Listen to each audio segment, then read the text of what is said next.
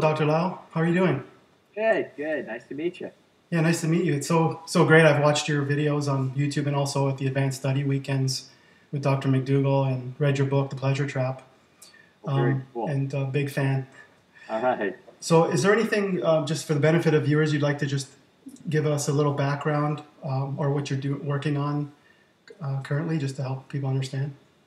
Well, I think uh, we're always working on something at, True North and at McDougall program. Uh, John has been uh, working on a study with multiple scler- uh, sclerosis for several years, and uh, I think that that one's still sort of percolating.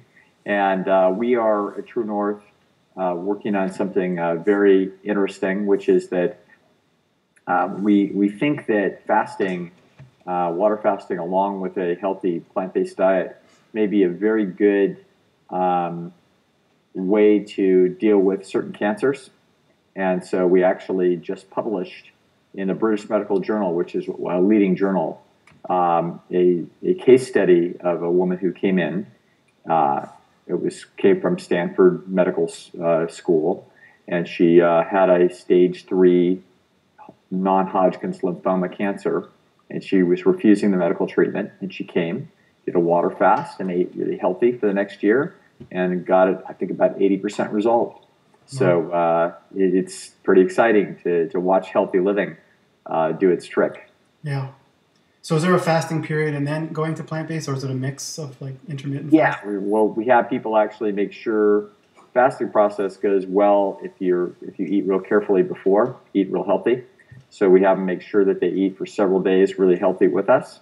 Then people do a water fast, and then we supervise their what they eat afterwards. And uh, and in this case, you know, it's a lot, it's hard for people to to uh, eat healthy food real consistently.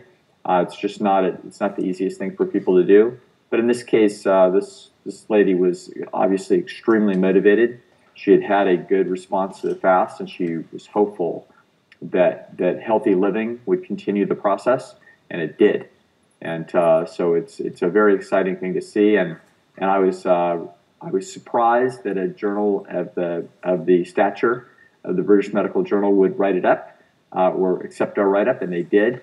Uh, they had us jump through an awful lot of hoops. They wanted to see the original data. They wanted to make sure we weren't you know flakes, but they published it uh, in December of 2015, and we're real excited about that. Yeah, that's great.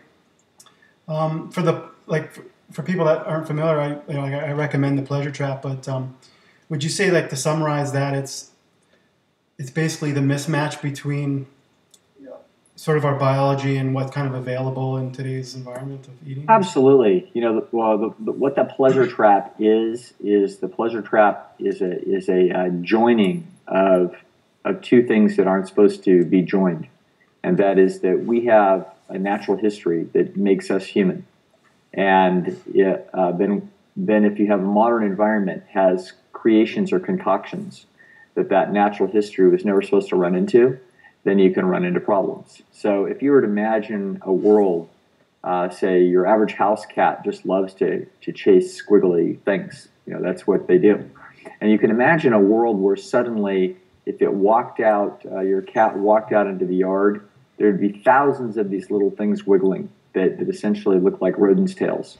I mean, that, that poor cat would just be not know which thing to jump on. It would be just overwhelmed. And uh, that's essentially kind of what the world is that, that humans face in a way. And that is that they're, they're being inundated with foods that we're going to, and products, other products, but particularly foods, that we call in science supernormal stimuli. In other words, they're not the normal stimulation that the species was designed for. They're supernormal. In this case, they're hyperconcentrated in sugar, fat, and salt. And uh, when you do that, it makes it very difficult for people to stay out of it. And that traps their motivational system uh, into doing something that's actually self destructive when it really feels like it's really the right thing to do. And that's what we call the pleasure trap. Yeah. And um, what's your general advice? Like, obviously, you know, switching to that type of a, of a diet, but with all the stuff that's out there um, in the stores and in the restaurants, like, it's kind of a constant uh, temptation, I guess you would say. It sure is, and and I, I would say that it's uh, th- there are a few people that could just flip a switch and go the right direction, uh, once they learn the right way to go. But that's not true for most people. Most people will go through quite a, a process of, of uh, it's a, little bit like being in a house of mirrors. You're going to bang your head into the wall a whole bunch of times. And that's fine. The, the important thing is to, that you know generally what direction you should be going. And the, the general direction that we need to keep headed towards is we need to head away from the animal foods and uh, dairy and, and flesh of, of different kinds. Uh, not that this stuff is horrible, terrible poison, even though John McDougall would say it's poison. Uh, I would just say it's mediocre.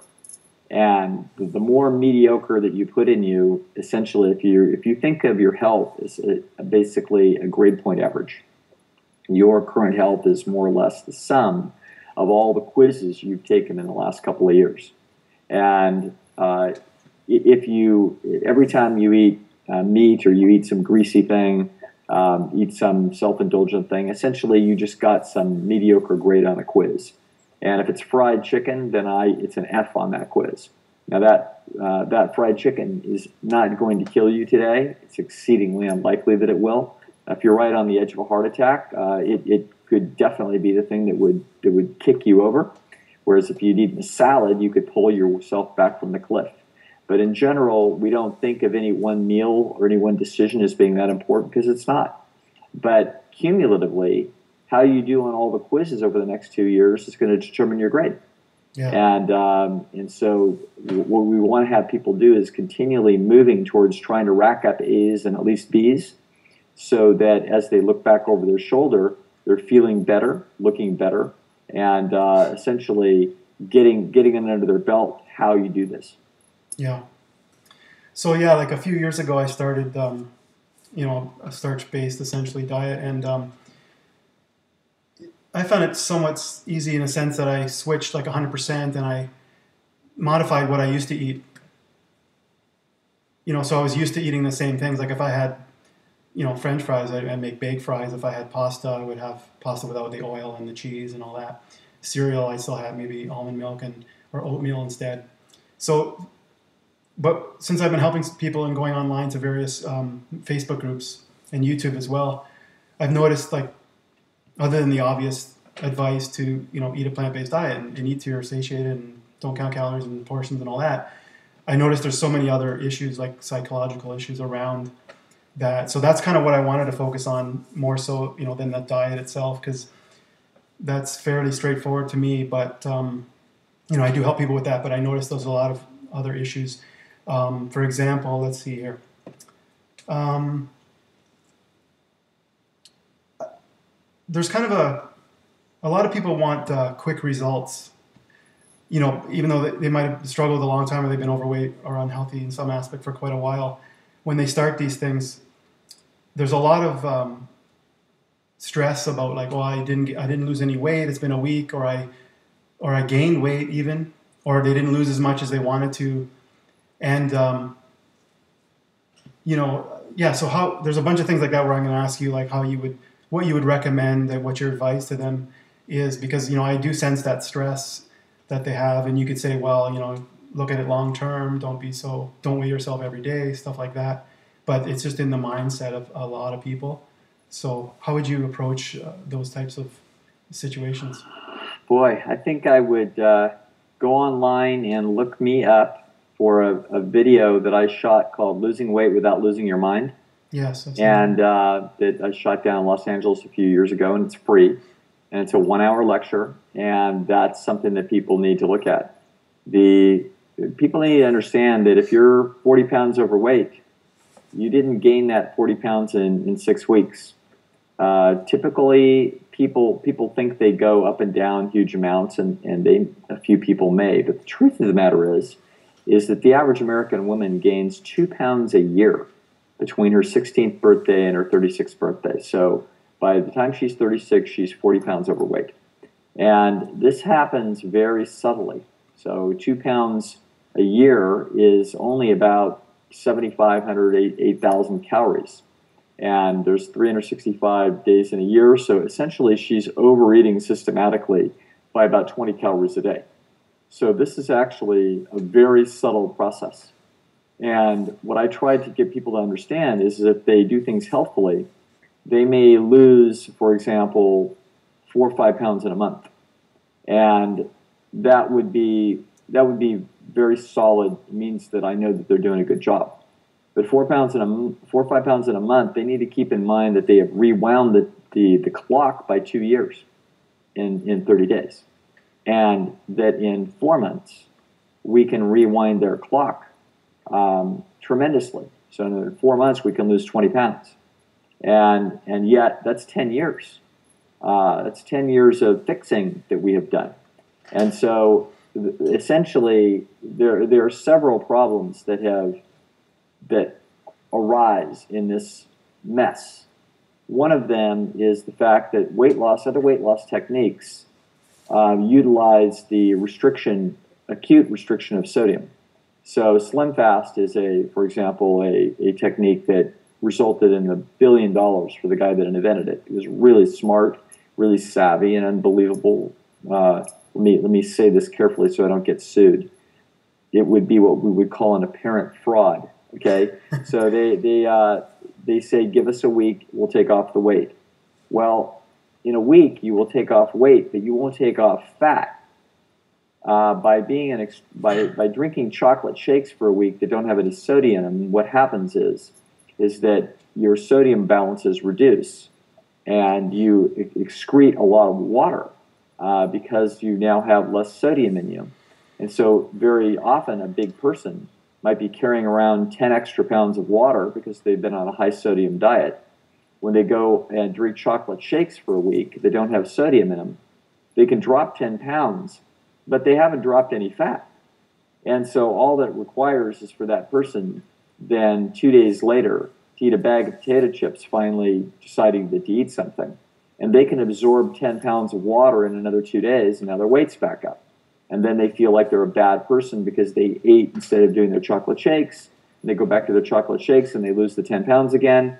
And we wind up with essentially extraordinarily confused behavior on the part of people. The, uh, to understand that you lose fat at a nice, even, reasonable pace. Uh, if you do a brilliant job, you might lose two pounds a week. I mean, and that's talking about toeing the line uh, McDougall Maximum Weight Loss Program, etc.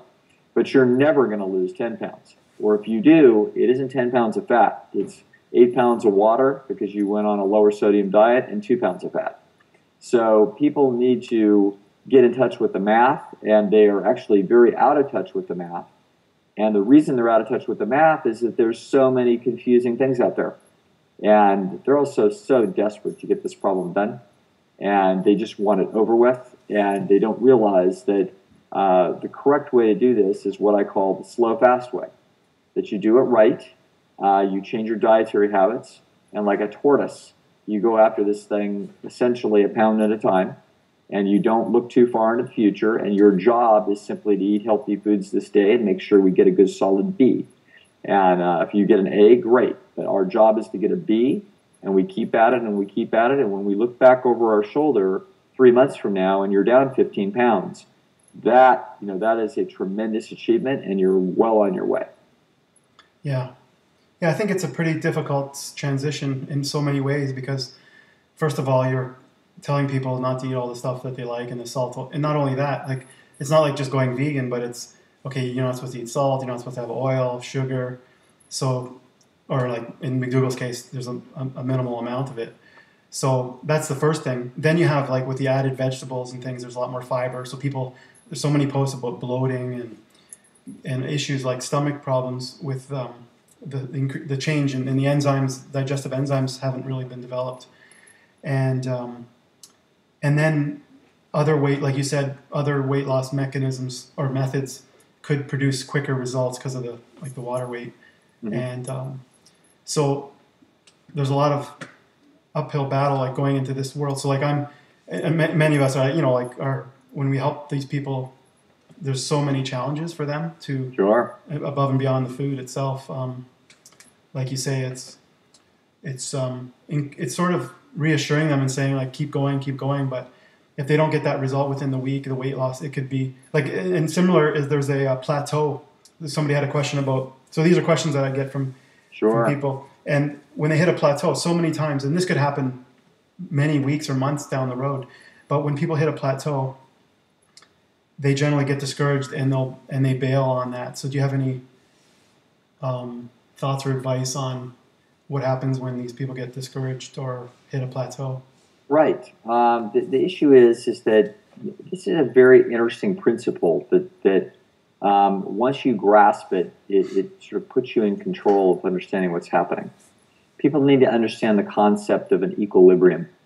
So let me give you an example. If you have a boat uh, floating on a calm lake, um, and it's floating one foot under the water, the, the the uh, little tiny sabot kind of a boat, and then you step in that sabot and you lie down. Then your extra weight pushes the boat down further in the water, and now we're you know 18 inches below the, the water line. And then you get out of the boat, and then it goes back to uh, a foot under the water. And then you had some big old jugs of water in the boat, and you take those out, and now it goes above, uh, rises further in the water, and now it's only eight inches deep in the water. In other words, it's going back and forth and back and forth where, where it stands relative to the water line, dependent upon the gravitational forces that are involved in the boat. Now, that's exactly what your weight is doing. Your weight is simply moving around. It's moving towards an equilibrium, and then it'll hit an equilibrium. When you step in the boat, you're, it's actually in disequilibrium for a few minutes as the boat now is bumping up and down in the water as the dynamics of that situation are not stable. As soon as you settle down, now you're down 18 inches in the water and it's stable. Your, your weight is essentially a, a, um, a math problem that involves very few variables. One of them is your genetics. The second is how much exercise that you're doing. And the third is the content of your diet.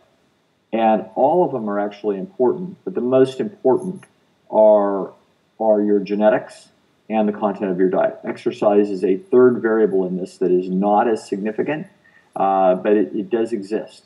Now, so we could have a person who, let's suppose that they're eating a conventional American diet and they're 40 years old and they're 50 pounds overweight. And what they hear is, you know, they've gone on diets before where they try to restrict their calories for a while and push themselves away from the table and they walk around the block and they lose six pounds and then they give up and, uh, and as soon as uh, as soon as they stop doing this they go back to their 40 pounds overweight. And they say well that's my set point. Okay? And that's what people believe. That's my set point. That is not a set point. There is actually no such thing as a set point. What there is is that there's an equilibrium point if you're if your exercise and your diet and your genes are stable. And since your genes are always basically stable, the two variables that are in the equation are what is it that you're eating and what your exercise process is. So, let me give you an example. A man uh, came to me and ex- uh, up at a, a, lecture, he and his wife, they were in their 70s. And he came up and he told me a story. And uh, he had been, he was about 5'8, about 160 pounds and he said, I used to be 380 pounds, which to me was unbelievable that that was true. And his wife is sitting there nodding her head and smiling. And what he did was he went on the McDougall program. And so at 380 pounds, he went on the McDougall program. And over the next year, he lost about 100 pounds. So he lost about two pounds a week, which means we knew that he was really doing it. And then he hit, quote, a plateau. He hit a plateau in the upper twos. And there he sat for several months. And he still knows that he's 100 pounds overweight, obviously. And so he, uh, he called John McDougall and he said, I'm 100 pounds overweight and I'm doing your program perfectly. What's the deal?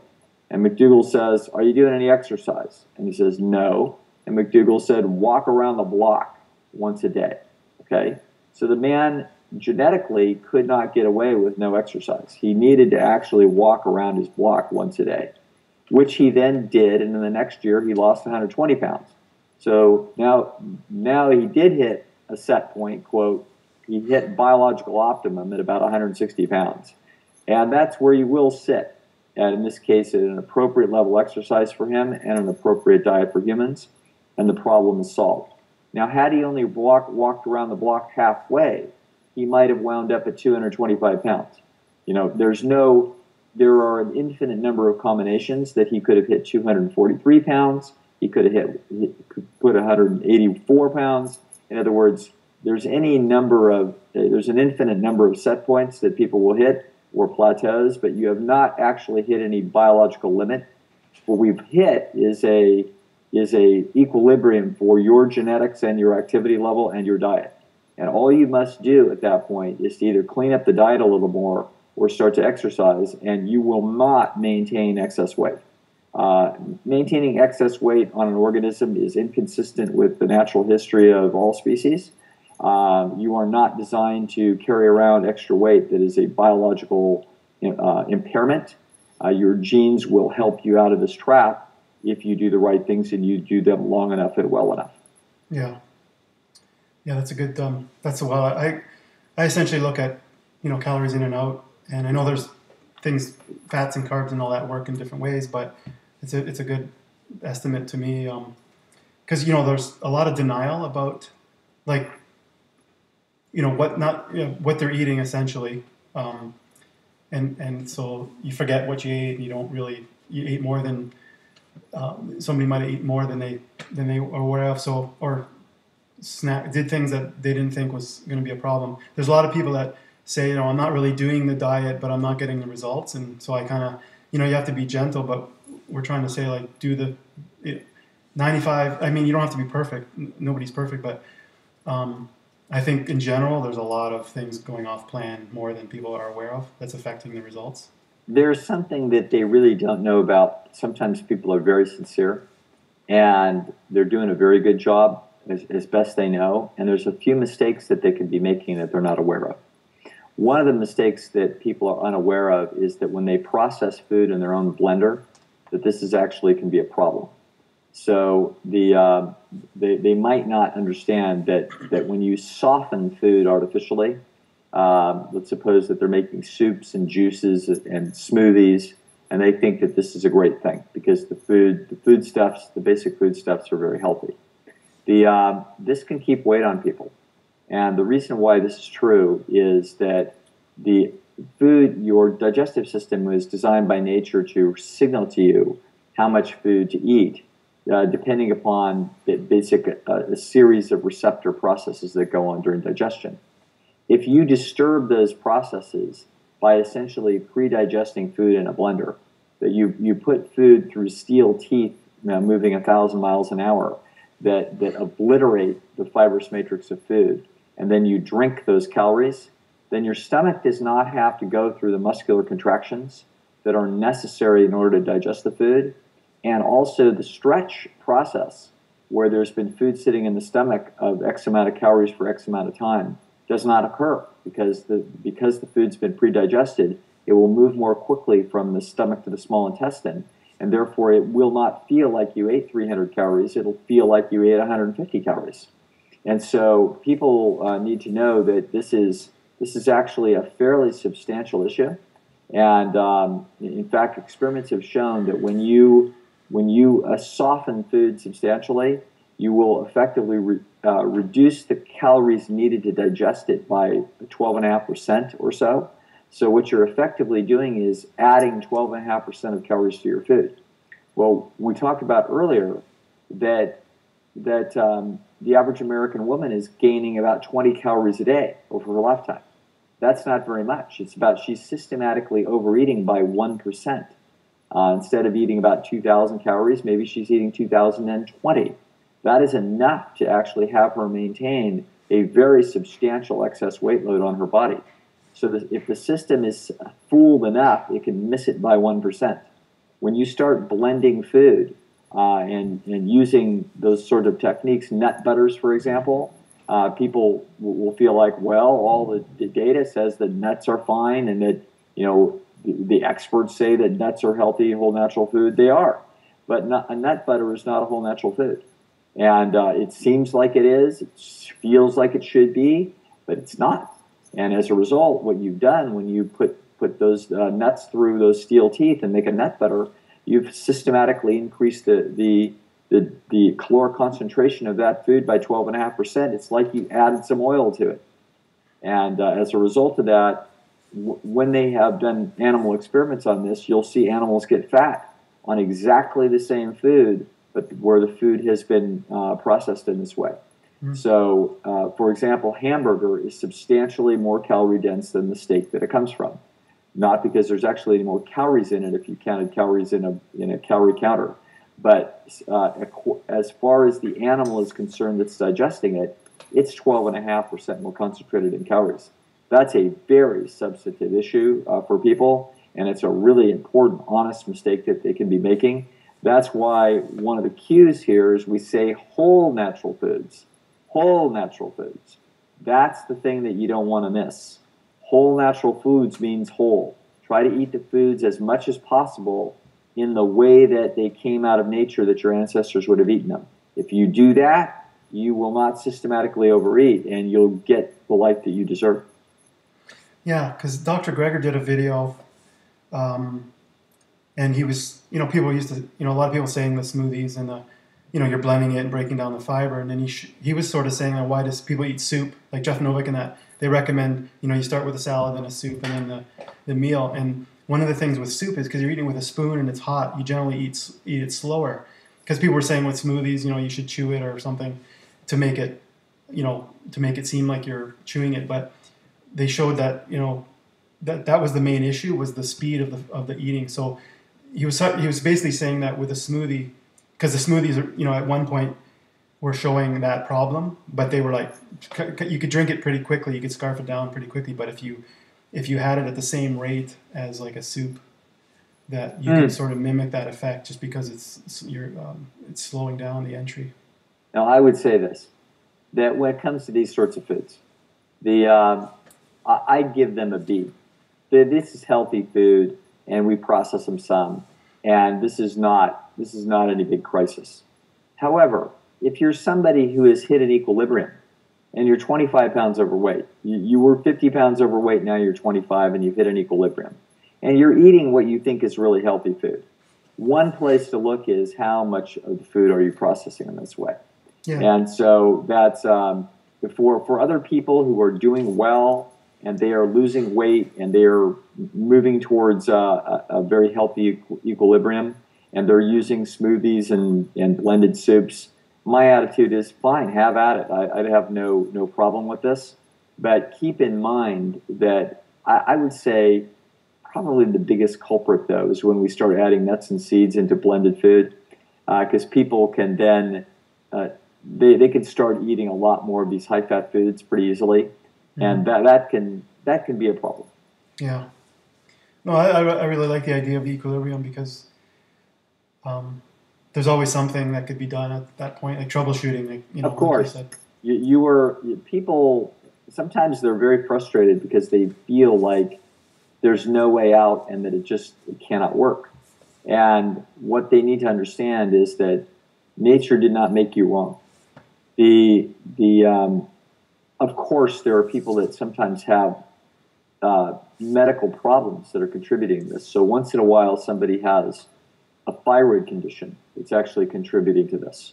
Uh, but that's not common. So most of the time, when people are struggling with their weight, there is nothing wrong with their biology. And usually, interestingly enough, people that have excess weight are usually quite fundamentally healthy. They, they're absorbing their food very well. Uh, the people at True North that come in that, that have serious problems, the ones we're most afraid of are the ones that are thin.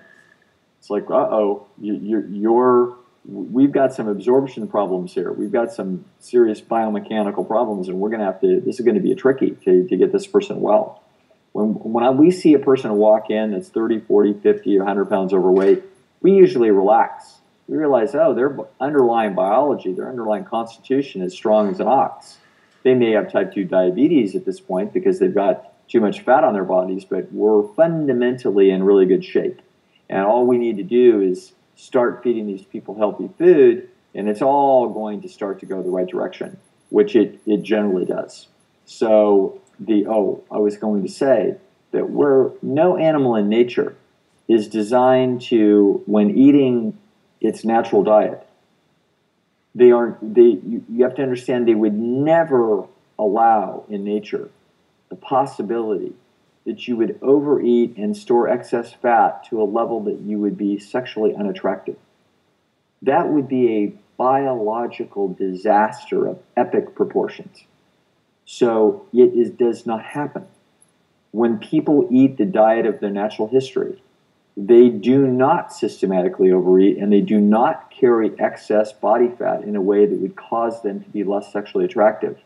Uh, if they did, that gene that would cause that to happen would rapidly be selected out by, by evolutionary processes. So it does not happen. And uh, that's why when, when people switch to this way of eating and they, and they troubleshoot the, the few things that may stop them, they rapidly go to a place that essentially optimizes their appearance. Yeah. And uh, within the genetic area, because you've mentioned this a couple times, um, like I noticed in my case, when I gained a lot of weight uh, prior to going this way, um, you know, my wife didn't gain as much, nearly as much as I did.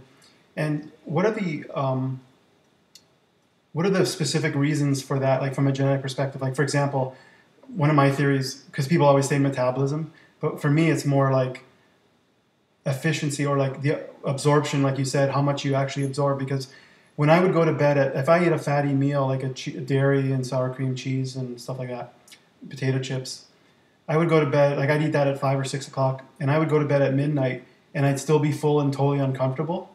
Mm-hmm. But other people, it, it, sort of goes through them, and the next you know they're they're hungry. You know, a couple hours later, and I'm, I'm, I'm you know in pain and stuff like that. So. Um, if you want to talk about that absorption versus like metabolism and other um, aspects to genetics where somebody wouldn't gain as much weight as someone else. Yes, people, one of the worthless processes that's going on today is all these discussions about absorptions, individual differences in metabolism, and all this sort of thing. The, um, and whether or not you've got cortisol in there because you're stressed, and et cetera, et cetera. This is a total waste of time. The, um, let, let's look at the facts the facts are is that that there are individual differences in in the genetic code. That's what makes one person different from the other. Uh, everybody's genes are almost exactly identical. So there's a reason why your kidney is in the same place that everybody else's kidney is, is because you've got genes that have made made you a human as opposed to an aardvark, and therefore those genes are all essentially the same. So human beings, over 99% of your genes are exactly the same as everybody else on Earth. Now, there are subtle little individual differences, and they, they make up for tiny little stylistic uh, differences between people. So, for example, uh, some people have blue eyes, some people have brown eyes, green eyes, etc. The, uh, some people's hair is blonde, some people's hair is red, some people's hair is black, um, etc., and brown. These are all these stylistic little differences. The, uh, the hair, for example, doesn't really make much difference biologically whether that hair is blonde or brown. In other words, it's still an insulating factor for the top of your head and helps save uh, heat from escaping. But the bottom line is, is it's, it's, we've got a little stylistic difference. It's the equivalent of whether your your Model T Ford is painted red or painted black. It's still the same car. And so it's also going to be true that there's going to be subtle stylistic differences in in uh, how this organism looks in terms of its morphology, how muscular it's going to be. So uh, that's going to be because there's going to be a genetic lineage that had to deal with evolutionary stresses uh, in the environment of that natural history of that particular organism, where it paid to be, for example, a little bit stronger than somebody else. So there's going to be places in the world where you're going to see where the people are tall and thin, and there's going to be places in the world where you're going to see people are going to be short and stocky. And these are going to have to do with temperature utilization curves. There's going to be also uh, in, environmental stressors, what they do for a living, all kinds of little stylistic differences. They all have the same musculature.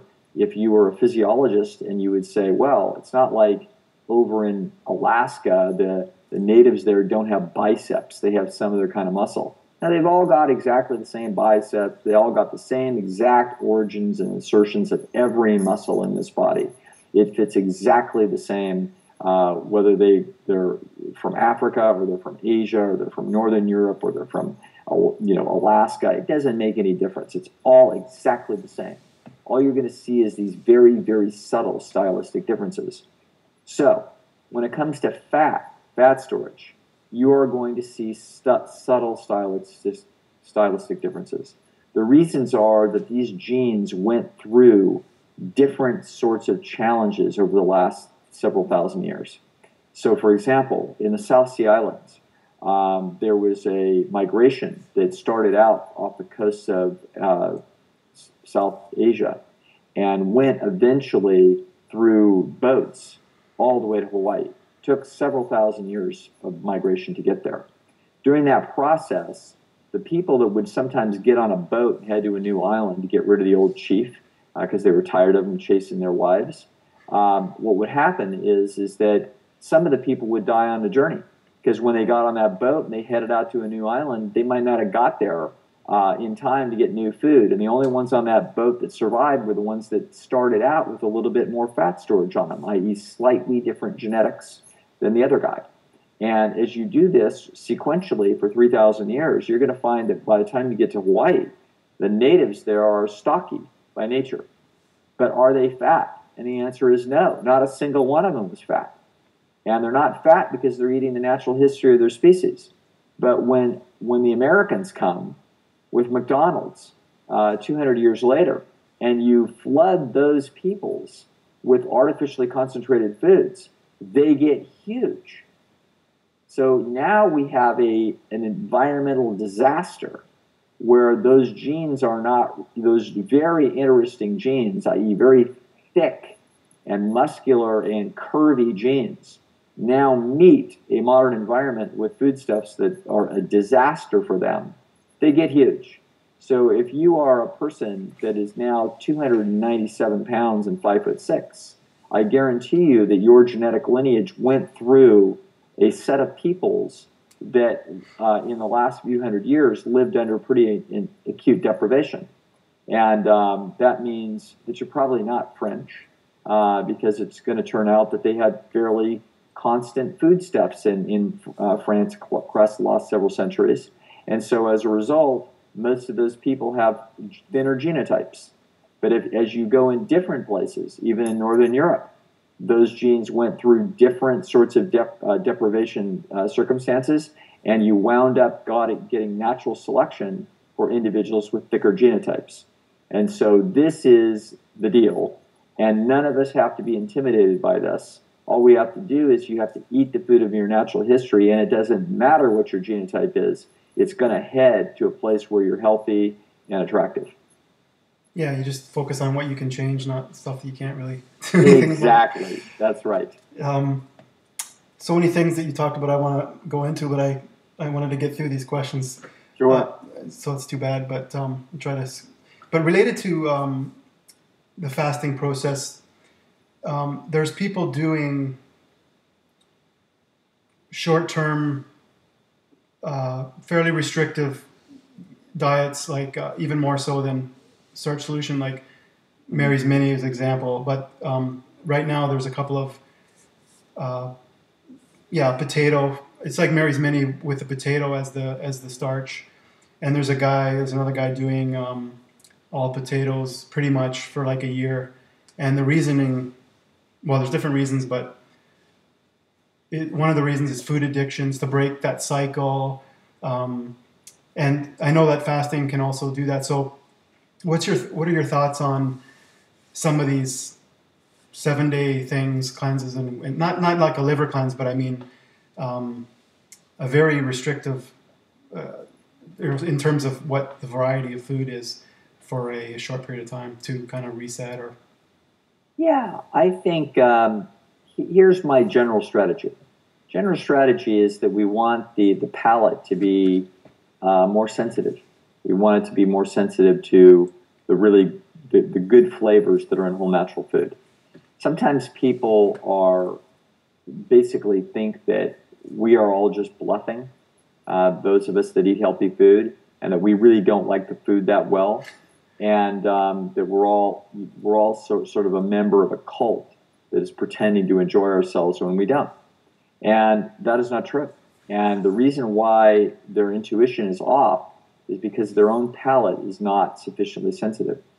And they actually don't think that you could really like whole natural food. And yet, uh, so if, if you're sort of caught in that suspicion that this is a little bit bogus and that people can't really like whole natural foods, I, I want you to conceptually consider the fact that you would never be designed to not be crazy about your whole natural food. Every aardvark loves aardvark food. Whales like whale food. Giraffes like giraffe food. And humans like human food. They are designed to. You have to be extremely motivated to go to the hassle and the risk to go out there and get food. And when you get there, it needs to be rewarded. And it is. So you are designed to love whole natural food. And if people don't love whole natural food, it's because their palate has now been adulterated and they're not sufficiently sensitive. So that's actually what's happening. Now, they don't know that it's happening. You, you can't see it happen, but you can observe the process if we do a few little techniques. So, the, the, my fundamental thrust is to get people to understand that their nervous system changes, not the food. The food is not changing. The food is the food. The, uh, your nervous system's reaction to it, though, can change dramatically in the same way that your eyes can adjust to light when you go into a movie theater, and then you can you can get uh, much more sensitive to to uh, to light after it gets darker. In the same way that you can get much more sensitive to the taste of the food when we dial down the total excitation of the food. And so the the fastest way to do this was, is with water. So a person can go on a water fast for a day or two uh, two days is no joke for most people, but a day is well within people's ability to gut it out. If they will do this, even, for example, not eating in the morning and not eating in the afternoon and waiting till the evening, if they'll just do that, their taste buds will become considerably more acute even by the end of the day. And so essentially, they will have fasted 24 hours uh, since the previous evening. If they will do that, they will discover that simpler foods, uh, if they will challenge themselves with a, a, a, simpler food than they would normally eat, they will find that they like it better. Mm-hmm. Now, sometimes um, some people might actually be struggling enough that that doesn't do that much. But I'll tell you what, if you do a two or three day juice fast where you just use a couple of uh, natural uh, or like a fresh juices, say carrot and apple juice or something like that, uh, I tend to mix those two together so we get a little bit of minerals along with the sugars. If people will do a two day juice fast, they will find that after two days, their palate is much more sensitive to the fats that come in, in normal levels and even something like oatmeal and, and modest amounts of sodium. So suddenly they don't need to be eating greasy uh, fried food filled with oil and salt. Suddenly, a food that is much healthier has more kick to it. And that's exactly what happens with your eyes. We, we dim the lights down and they become more sensitive. We dim the food down back to where it belongs, and your taste buds become more sensitive. So the sometimes people need to do this 30 times. They need to do it over and over again. They need to get the concept in their head that if they stay on a healthy path for a while, and it doesn't take that long, their taste buds will become sufficiently more sensitive that it is not a sacrifice to eat this food. We are not a bunch of saints.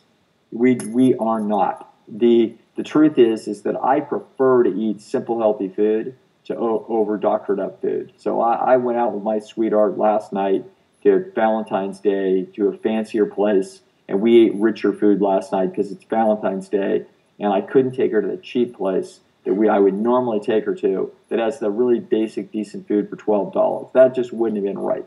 So we went to the nicer place and it was greasy and it was oily and it was saltier and I didn't like it. okay? And she didn't either.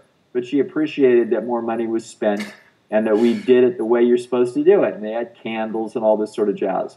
But the truth is is that I didn't like it and uh, I'm not going back tomorrow. And if you said, oh, well, actually, it's really rich food, but they've now they've got a coupon and you can get it at a fourth the price, so you can go back and eat the cheap. It can be cheap. I don't want it. It's cheap, greasy crap, and I don't like the taste of it. Yeah. And so this is actually what happens uh, when you get your palate appropriately adjusted. The the other food is too rich. Once you reach that point, uh, and I'm not saying that I'm at a point where I never like something that's not doctored up a little bit. I do. But I never lose my taste for the absolute straight healthy food as well. Once you get your palate to that level, you're not going to lose your way because you don't want to go back. And that's that's the safe place. And that's not being brainwashed. That's just having your your nervous system appropriately calibrated. Yeah. Yeah, I found that as well. I never used to eat vegetables and that because your palate was just not into those things. And then now, even if I do something non-ideal, it's um, it's not like you're off the rails forever. Then once you you know got tempted by something. No, um, not at all. But the people that are you know you're talking about that say they're eating the typical diet, um, and they look at vegans or plant-based people and that. like to me, like you talked about pleasure and pain, pain from the food perspective, but also like they don't have a reason or uh, uh, they don't think they have one. They may not have a reason to to want to change. Like I find the vast majority of people are doing this because they there's a there's a problem. Like they're not going to seek out this lifestyle for no reason in general. Like there's other reasons like um, ethicals and environmental, but right. um, some of these concepts like people will not seek it out, and then when they start doing it and they have bloating or hunger or whatever, um, they're experiencing more pain, you know, because it's it's not, um, and that pain, and they have these pleasurable foods that they've been eating for so long. So there's no incentive from that perspective. It's interesting. This whole bloating thing is very interesting. I think maybe uh, like I never experienced this, and but I'm thinking I'm trying to think about why, and maybe it's because people people might if they jump they might jump a little too radically and thinking that a, uh, a healthy diet has huge quantities of uh, vegetables in it or huge quantities of salad, instead of doing something that is a little more consistent with the the, the fibrous process, you know, uh, foods that they've been eating now, but just improve them. So eat veggie burgers instead of burgers. You know what I'm saying? Um, eat, eat baked potatoes that you can dip in ketchup rather than French fries. These are uh, eat a small salad if you haven't been eating salad at all. The the uh, eat a few vegetables that are well steamed instead of some other thing that you've been eating. These are make modest changes. Um, the uh, in ways instead of having a, a ham and cheese sandwich, have a avocado and and lettuce and tomato sandwich with some pickles. In other words, it, make some things that that are very similar, even in terms of their concentration, um, and to the kind of things that you've already been eating, but just make better choices. And I don't think that most people will have that much digestive disruption. I can see going from going from a very rich animal-based diet to a very, you know, uh, a very healthy whole foods diet with a bunch of steamed vegetables and salad. That that I could see how that would be a problem. Um, you're going to get loose stools as, as, you don't have as much uh, starchy starchy fiber. So if you you get away from the starches, you're going to it's going to be surprising to you what's going to happen. Uh, you actually need some of that material to kind of hold stools together. Um, these are some little little learning pieces of the learning curve uh, that people don't know. But you know, eat rice and beans and potatoes that's sort of the center of what it is that you want to be eating. And these other things are at the periphery. And if you do that, there shouldn't be that big a problem. So if somebody, like I mentioned, uh, with the potato only diet for like a year or even that seems to be a long time, but for 30 days and stuff, um, even though there might be some nutrient potential issues, um, the, the, if the goal is that reset of the palate, like what's what's a good length of time? I know you said it could happen multiple times, but is there any period of time that, if you're eating food per se, like not as opposed to fasting, that somebody should be able to get over the issues? Oh, I mean, you're you're moving out of those issues. It's just like when you go into a movie theater. In one day, that palate starts to change. In other words, it, it's moving in the right direction instantly. So there's not some length of time that's magic. Uh, people want to do these mono diets. I mean, I, I think that's a hard way to go. I've never done anything like that. The um, that, that you know I just moved towards healthier food. And I like the variety. When I when I steam up vegetables, which I do two or three times a week, there's going to be carrots and there's going to be asparagus and there's going to be sweet potatoes and there's going to be corn on the cob. There's going to be a variety uh, and a bunch of spinach in there. I mean, there's a lot of different flavors in there, and I never get bored. So it isn't actually necessary to do a Spartan mono diet in order to sort of get yourself on track. Um, but if people want to do such a thing, you know, have at it. There will not be any nutrient deficiency issues. People are not going to wind up with nutrient deficiency problems on a mono diet like that, probably ever. You, you could essentially eat steamed potatoes and live on steamed potatoes and probably not wind up with a nutrient deficiency of any kind, maybe for years, if ever. So um, that is the least of our concerns. The, but it is not necessary to be so so uh, vigorous uh, with yourself on this issue.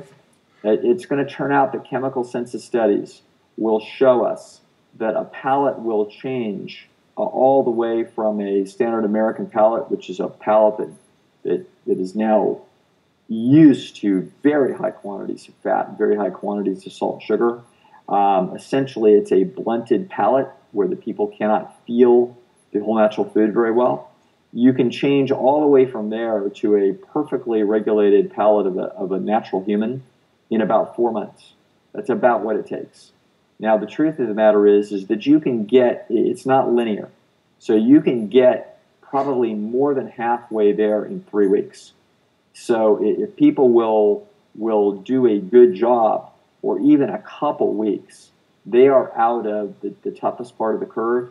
And I believe that they can get out of the toughest part of the curve even faster with things like a, occasionally uh, 24 hour fasts. If you do that, you know, one or you know, a day, for example, a day a week for about three weeks. Though each of those days is really helping sharpening your palate. Or if you did a one or two day juice fast, those are really helping sharpening your palate. Um, all we have to do is realize it's a game. We're playing a chess game against our, our taste buds, and we have to just move the pieces well enough to beat them. And they are very easily beatable. Uh, they're, they're, not, they're not fighting you uh, but they will take some territory back every time you eat crap. And so we just have to make enough good decisions that we move them consistently to a place of greater sensitivity. And when we do, we don't want to eat the crap as much. And, uh, and even if, when you do, you don't get back that much territory. And you get to a place where you enjoy healthy food and you're not grandstanding it. It's just the way it is. Yeah. Speaking of nutrients, like um, there is some differences of opinion. I've talked to some people that when you know I have a starch-based diet and people can live on potatoes for years and that kind of attitude. And then there's the nutri- nutrient or nutritarian. I mean, there's Dr. Fuhrman, Dr. Uh, Greger to some extent. If you go on Cronometer, for example, there'll be this thing like selenium, and you need a Brazil nut every day. And I kind of ask myself, well, what are like a lot of people around the world done in the past when there wasn't Brazil nut sitting there? And yeah. so What's your take on some of these nutrients that people seem to think they have to have a nut or something to get? You know, uh, a great motivational speaker in Southern California, a legendary man by the name of Jim Rohn in the 1980s, uh, had a phrase. He says, "People major in minor things." Okay, the uh, this is this issue of nutrient density and concern about nutrients is absolutely minor league small time peanuts, and people need to get over it. It is not an important issue. The, uh, you need to understand that your intuition here, Will, is exactly right. That people around the world very often lived in ecological circumstances where the diets were extremely narrow. And um, they did not have, they weren't able to walk into a grocery store and have 200 different bunch of produce from all over the world or grown in hothouses. You know, people people very often had very, very narrow diets. And it turns out that what happens to the body when it faces a diet uh, that is very low in some given nutrient or vitamin or mineral, um, what it will do is that the genes have mechanisms to essentially recycle those nutrients very, very efficiently. So it, it is not necessary to be at the levels that if we were to say, oh, well, all human beings have level X, of a given nutrient, and therefore they see, the, the RDA believes that we need X amount uh, of this to eat, and then you're not eating it, that this is a bad thing. It's ludicrous. The truth is, is that your genes beautifully now realize that they are living in an environment of lower concentration of that nutrient, and they start to recycle that nutrient more efficiently. And it's simple. This is child's play for the genetic code, and um, so this is a this is majoring in minor things. People need to know that for every individual who has their health compromised behind some vitamin or mineral deficiency, there is a thousand people who have their health compromised because of dietary excesses. And so it's it's not even close. I would tell people never worry about a deficiency. And people also have this. Um, people have a natural tendency of the. I believe it's embedded into the neural coding of humans to worry about deficiency. And let me tell you why it is that I think that they do.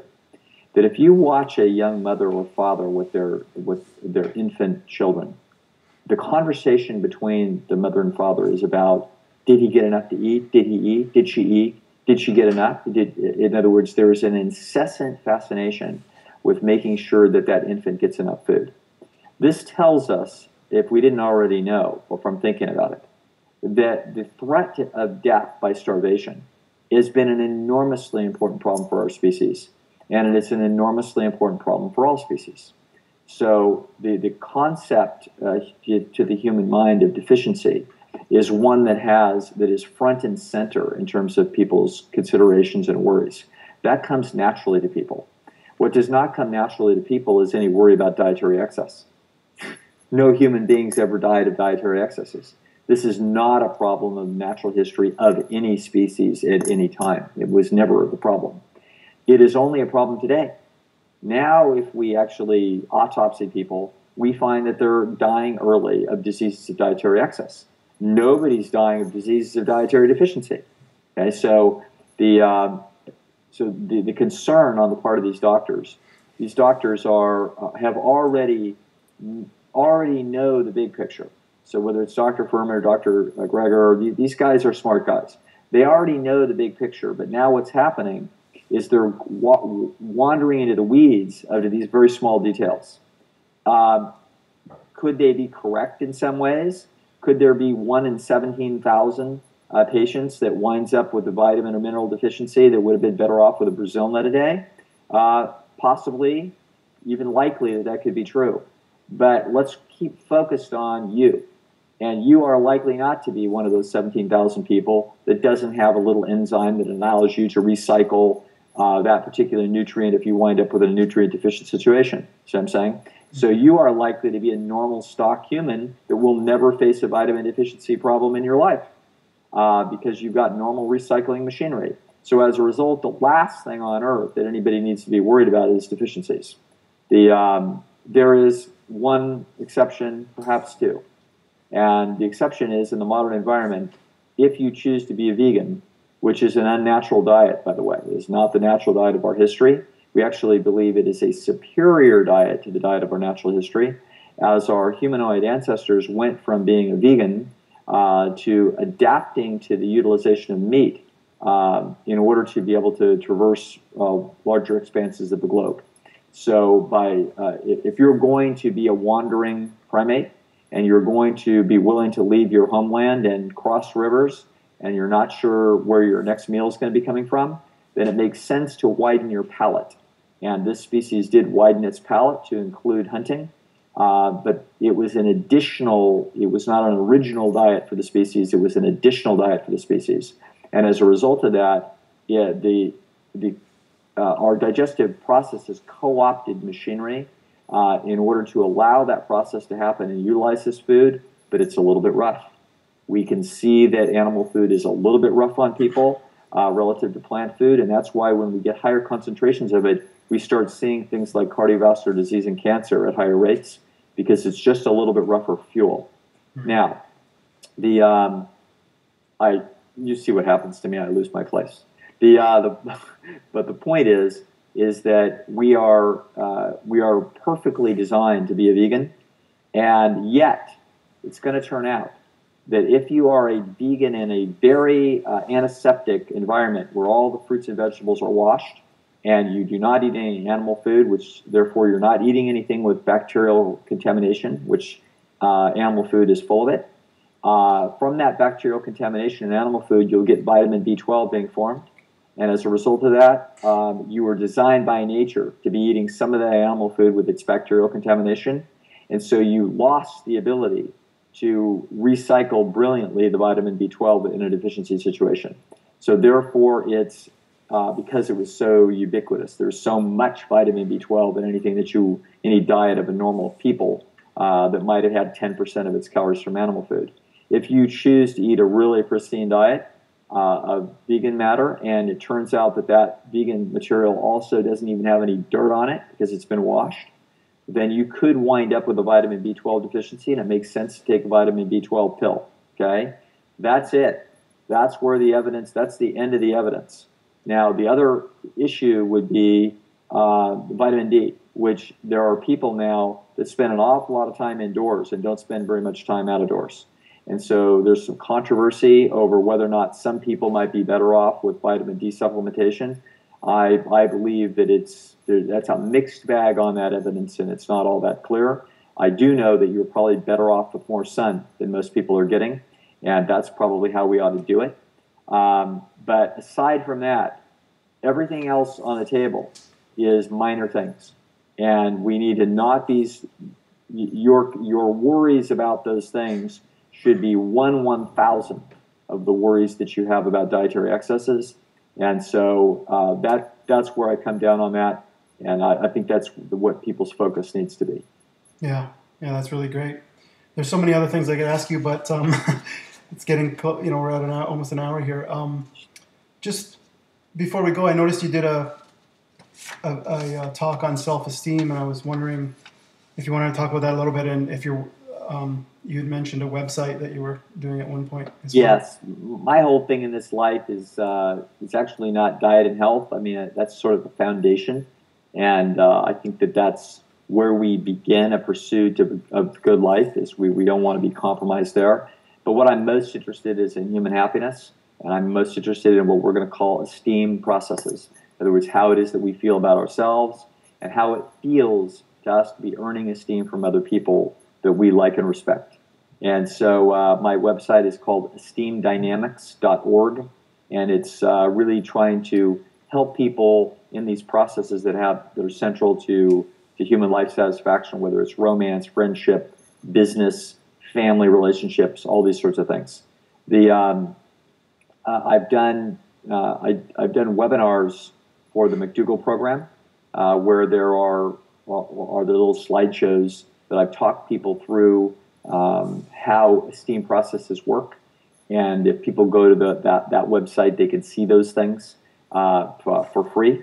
And I just try to make, make this material available. That's sort of the, I just got a website. You know, we're now 2016. I, I'm just getting getting on board. I'm very non-techy, and uh, so now over the next year or so, a whole lot more information about uh, esteem processes is going to be going up on that website.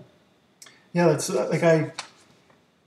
Um, it was sort of a surprise. Like I, when I switched to this style and I started sharing the food, I, nobody really cared on my Facebook page, so I started a separate page, like outside of like a business page or whatever you want to call it. Uh, and um, all of a sudden, people started liking it, and then I started a YouTube channel, and it's just like this, like so much interest. And I found that um, you know there's, I definitely like the self esteem of getting attention, getting people that enjoy the recipes and tell you that they enjoy it and that it's changed their lives. That's great, but uh, it's also a balancing act uh, with um, the negativity or any kind of comments. Like, so if you're on, if you have a, you know, it's very interesting. And I don't know if you talk about this or we could talk about it another time. But the, um, you know, you're putting yourself out on social media and you're presenting, uh, this is what I do or this is my opinion, and then of course you're going to get negative comments or disagreements, and so there's a there's some, a lot of stress, and when you go in the comments, there's a lot of debates going on. And I find, like, from a happiness perspective, I'm, I'm sharing, I keep focusing on the fact that I'm sharing this information with people to help humanity and animals and environment. But, but there's also a, a very um, difficult challenge by putting yourself out there, and you can get critiques on your physical appearance from Right. uh, difference in opinions from not only meat eaters but within the plant-based community, Sure. and, and and drama within that community, and so there's a lot of negativity, and any kind of criticisms can really affect me as well at, at the same Yes. time. Yeah, you want to uh, you want to you want to have your situation where you have to understand that um, that actually I believe on my website there may be a, a video free called the Perfect Personality, and if there isn't, there will be. I'll put it up there. Um, the about half of humanity, or certainly about twenty percent of them, twenty percent of humanity is pretty disagreeable. The um, if, if you think of a bell curve in terms of personalities, um, you have some people on one side of this bell curve. We could talk, talk about how agreeable people are. This is one of the most classic individual differences in personality. Um, there, there are other individual differences that are important. For example, how open to experience people are. So some people are very open and they jump off bridges and they've taken a bunch of illegal drugs and they want to travel to Kathmandu. Other people just want to stay in Bakersfield and never leave and marry their high school sweetheart. That's a very interesting individual difference that psychologists have looked at. And most people are somewhere in the middle. And most people want to visit Europe and see some things, but they, you know, they don't want to join a cult and an ashram because they're just not that open to experience. The um, when it comes to agreeable, how sort of pleasant people are, most people are pretty pleasant, but you have to remember that 20% of humanity is pretty unpleasant. And so th- those people will fight and criticize and squabble, and they're basically like little wolverines.